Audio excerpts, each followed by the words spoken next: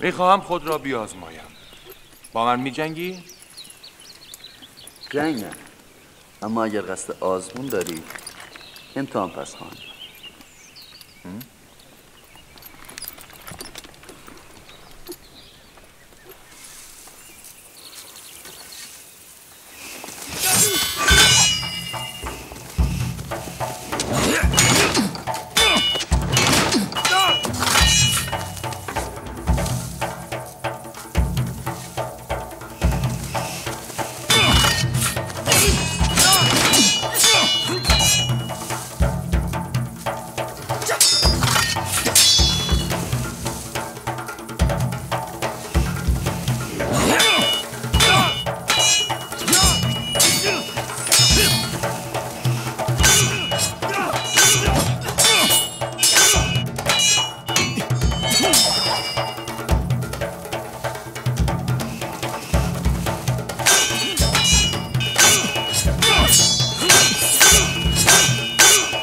آمنهوتپ قصد مبارزه با کاهنان معابد را دارد.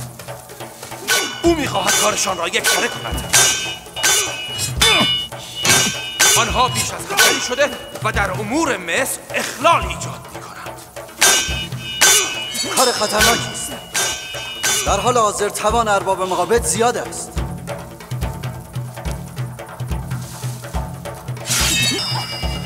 او تصمیم خود را گرفته و به من نیز دستور تجهیز نیرو داده است. برای علی. نیرو اقدام خواهد کرد آمنوته باید مراقب نفوذ و عوامل معبد در قصد باشد. زندگی آمنوته در خطر است. مراقب او باشید و لحظه ای تنهایش نگذارید. خطر. از ناحیه چه کسانی؟ هر کسی می‌تواند باشد. تک تک اهالی قصر آمنوته. دشمنان جناب آمونهوتپ همه جا هستند. من بانوتی را یک بار دیدم. او نسبت به آمون بسیار وفادار است. عجیب است. آمنهوتپ امروز همین مطلب را هنگام نزاع با باروتی به او گفت.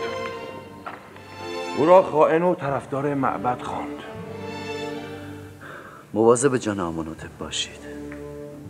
خطر جدی است.